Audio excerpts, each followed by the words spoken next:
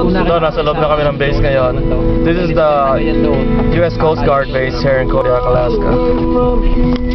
We're right now traveling at 20 miles per hour with the driver Jeff, who's high right now.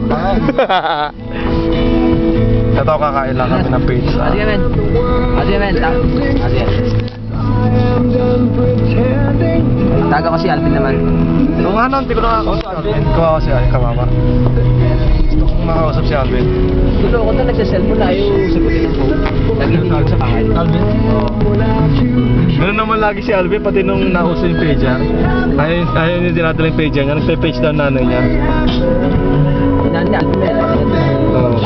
Yung sinabi ko sa nanay ko, sabi niya ngayon mo na alam, tagal na daw. Jet, nandito ka ba nung ano? Diyan tayo nag-prom, di ba? Kasama ka ba nandito ko sa Kaya dyan gaganapin yung usang ng utol ko,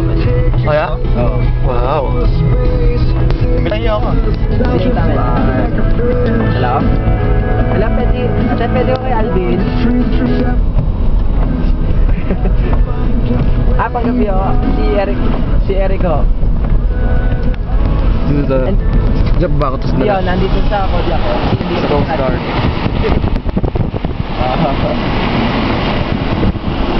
That's the runway for the aircraft, I think. Taga naman kami ako, mga... Dito ka ba nagtatrabaho, Jeff? Oo, no, no. Sa Yung nanay ni Ah, Marvin. Ah, Yan sige. nagtatrabaho, di ba? Nanay nila? Nanay ah, mga lesyente ni Doy? na tawag ako. Ni Doy. Oo, dyan. Tsaka Ati, ati, tatay niya. Wala na si Marvin dito.